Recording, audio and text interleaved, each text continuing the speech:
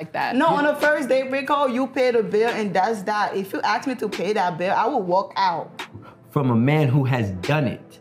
Right now, if your date was trash, no, you better not slide that bill. If you do not know how to manipulate the woman, then you better not slide that bill over. But if you manipulated her to make her feel like she had a great date, the world is your oyster. You could pass seven bills to her if you had a great first date and she might bite the bullet on all seven.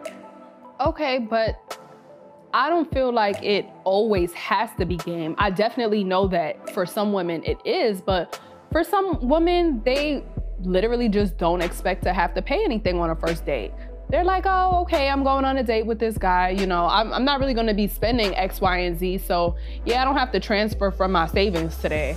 I'm, yeah. I'm good. That's like, your time to show out. Is is the first date.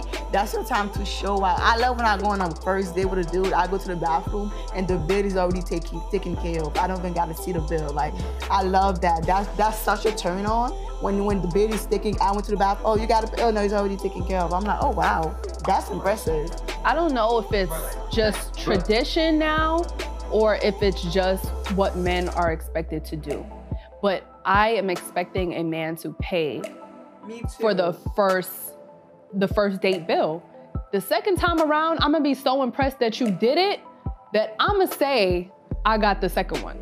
That even worse. Then we going 50-50 because we're not going 50 I don't no like date. you and you we're don't. Going 50 I do not like you and no. you do not like But you know what, Danny? If you even agree to go 50-50, you know it's trash, he know it's trash, and you both not talking to each other no more. If I don't So like y'all you, got an even out. But that's of the situation. It of the woman because a woman like me, I'm gonna walk out. You, the bid is on you. They're gonna stop. Hey. But why she gotta be? That that's sounds like a at. petty man, not a and high value first of man. All, how, why did like, the date go? Let's start with that. Why did the date go bad?